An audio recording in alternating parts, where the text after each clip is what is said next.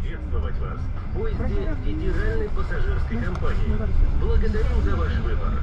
Нашим приоритетом в работе является обеспечение вашего комфортного и безопасного путешествия. Dear passengers, we are glad to welcome you on board the train of the Federal Passenger Company.